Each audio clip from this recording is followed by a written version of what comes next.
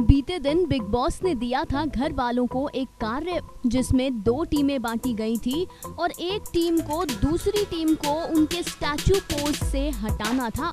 इस टास्क में शमिता शेट्टी, राकेश बापट, दिव्या अग्रवाल, जिशान खान, नेहा भसीन और मिलिंद गाबा स्टैचू बने थे।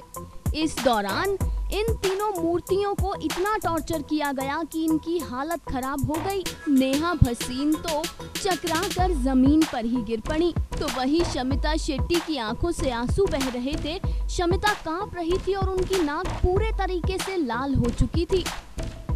जी हाँ टास्क के दौरान शमिता शेट्टी और नेहा बसीन का हो गया बुरा हाल।